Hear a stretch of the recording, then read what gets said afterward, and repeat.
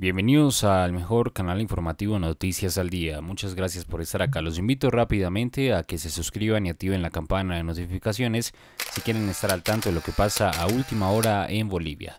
El gobierno que preside Luis Arce calificó este sábado de injerencia el pronunciamiento del secretario de Estado de Estados Unidos, Anthony Blinken, en el que pidió la liberación de la expresidenta interina boliviana Janine Añez y expresó su preocupación por los indicios de comportamiento antidemocrático en Bolivia. La Cancillería boliviana manifestó en un comunicado su preocupación por la declaración de Blinken al considerar que este tipo de pronunciamientos son una desafortunada muestra de injerencia en asuntos internos, tampoco contribuyen a desarrollar una relación de mutuo respeto entre nuestros estados, no responden a información objetiva y atentan precisamente eh, contra la institucionalidad que pretenden defender, indica el comunicado venezolano. Pero antes que nada vamos a seguir con la segunda parte de la entrevista de Luis Arce, que habla sobre el caso de Gianiña Añez y muchas más eh, cosas, así que los invito a que dejen un comentario en este video un me gusta también para apoyar a nuestro equipo investigativo. Recuerden compartir a través de todas las redes sociales para que esta información llegue a muchas más personas. Gracias por estar acá. Esto es Noticias al Día. Estamos en esta conversación con el presidente eh, de Bolivia, Luis Arce. Eh, presidente, bueno, eh, nos ha expuesto ampliamente precisamente la valoración que tiene respecto a lo sucedido. Déjeme plantearle algo para tratar de entender pues esta complejidad finalmente que ha vivido un país como el suyo, eh, en, donde usted ha sido con mucha contundencia eh, un señalador de un golpe de Estado, el presidente mexicano también eh, asume una postura en ese sentido. Déjeme preguntarle algo para entender la, conjunción de elementos que se han vivido en su país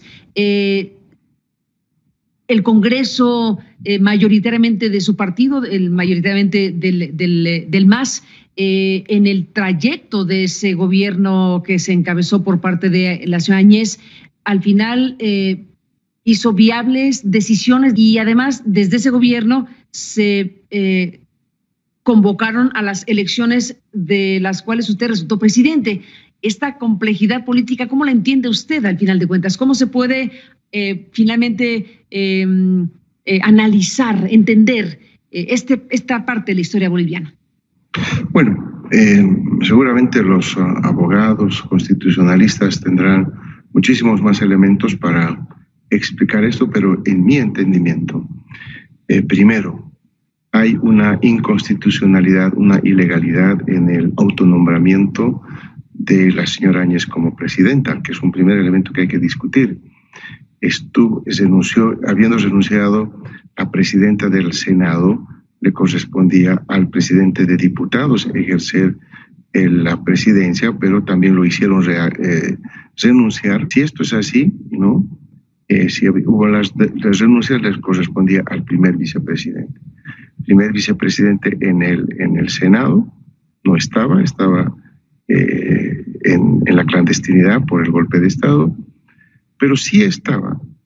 Eh, y eso del Senado tenía que volver nuevamente a diputados y en, diputados sí estaba presente en La Paz la, primera vicepresidenta de la Cámara de Diputados, Susana Riveros, del Movimiento al Socialismo, quien debería haber asumido la presidencia. Obviaron este hecho eh, en el reglamento eh, del legislativo y se fueron directamente nuevamente al Senado, donde la señora Áñez era la segunda vicepresidenta. Por lo tanto, ahí eh, se cometió una irregularidad, por ponerlo de esa manera, en la aplicación de la normativa de la propia, eh, de Asamblea Legislativa Plurinacional.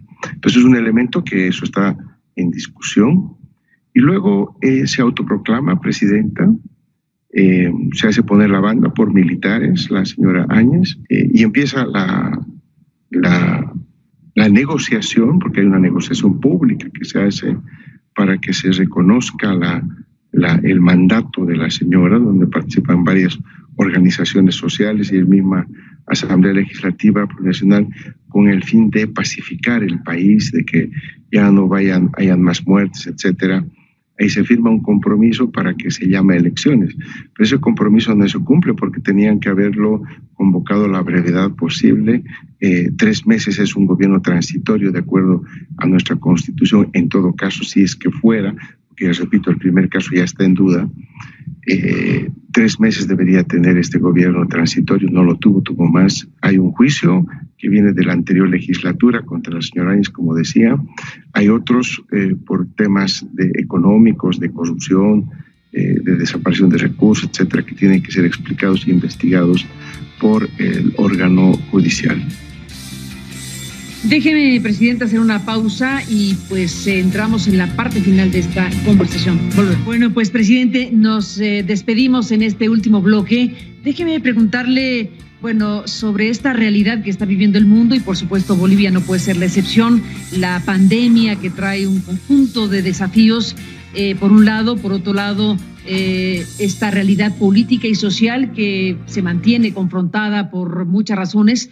Eh, hemos visto la llegada de usted con un triunfo indiscutible, pero también hemos visto cómo los gobiernos subnacionales pues han sido ganados por autoridades de oposición, digámoslo así, a su gobierno.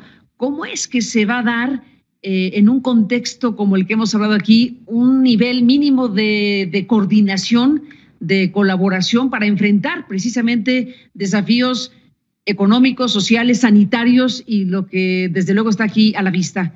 Eh, ¿Cómo va a ser o cómo está siendo? Bueno, primero hay que ser objetivos en la evaluación. Obviamente que la gente que ha mencionado eso que usted dice no ha visto las cifras.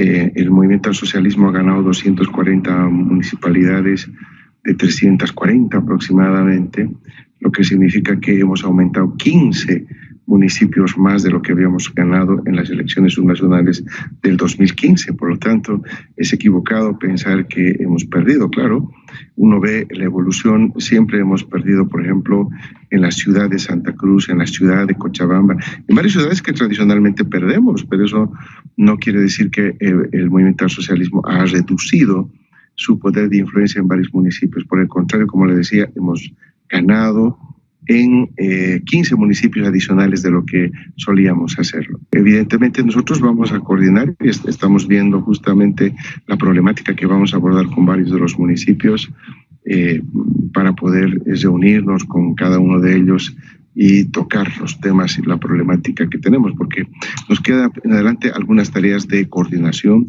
Es el caso de las vacunas, como usted mencionaba. Tenemos que coordinar la, la vacunación en, nuestro país, especialmente municipios, gobernaciones, porque la responsabilidad de la salud eh, se encuentra dividida, de acuerdo a la constitución política del Estado, entre el gobierno nacional, las gobernaciones y los municipios, ¿no? Claro, cuando nosotros venimos al gobierno en octubre, les cambiamos el escenario, les hicimos participar, el gobierno nacional compró todas las pruebas antígenos nasales, el gobierno nacional compró absolutamente todas las vacunas para resolver el problema y se les pidió a los gobiernos departamentales y municipales que básicamente se dediquen a hacer la aplicación de las pruebas para detectar y medicar a quienes están eh, enfermos y la vacunación propiamente tal. Entonces, eso es lo único que hemos pedido, eh, eso es lo que nosotros hemos eh, coordinado con los gobiernos municipales. En la gestión que usted tuvo en el área económica cuando el presidente Evo Morales estaba eh, como, como mandatario, bueno, pues Bolivia vivió eh, crecimientos económicos bastante sorprendentes para el resto de la región. ¿Cómo está Bolivia en este momento y cómo está usted, que fue quien gestionó en términos de presidencia y de, y de, y de y de funcionario en la materia, eh, lo que está ahora en materia de economía. ¿Qué momento vive Bolivia y qué perspectiva tienen después de haber vivido lo que vivieron? Bueno, encontramos un, un, país quebrado, todo lo que habíamos hecho eh, realmente se esfumó, eh, empresas públicas sin inversión, sin recursos, básicamente empujadas a la quiebra. Nosotros crecíamos al 4, 4,5% de, de, de Producto Interno Bruto. El 2019 hasta septiembre estábamos por encima del 4% de crecimiento. El crecimiento anual del país en ese año fue de apenas 2,2 positivo todavía pero ya el año 2020, eh, por el mal manejo de la pandemia y todo lo que sabemos, y el mal manejo económico, porque no, no se olviden que en Bolivia se hacían en marzo, empezamos a mirar la pandemia, en enero, febrero no hubo ningún efecto de la pandemia y estábamos ya mal. El crecimiento eh, fue de menos 11%, una recesión de menos 11%. Fuimos uno de los tres países, lo hicieron muy mal en, en economía el año pasado, de acuerdo a las estadísticas, y uno de ellos fue Bolivia. Eh, también hemos tenido un alto endeudamiento externo, interno, que lo hemos verificado, una, un déficit fiscal extremadamente alto. Hemos rebasado el 12% de déficit fiscal en el gobierno de facto, lo que realmente es una, un, un panorama absolutamente catastrófico que hemos recibido hacia el país.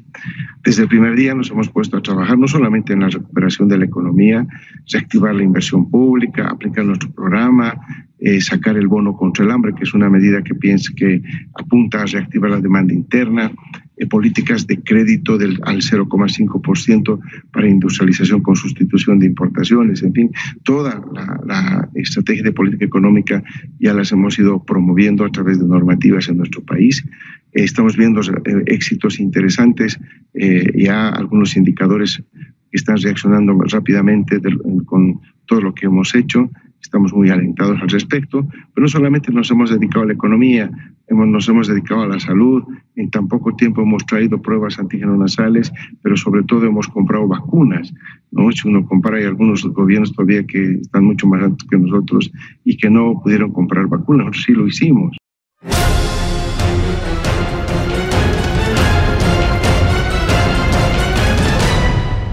Si no te quieres perder de los últimos acontecimientos que pasan en el mundo, suscríbete y activa la campana. Somos Noticias al Día.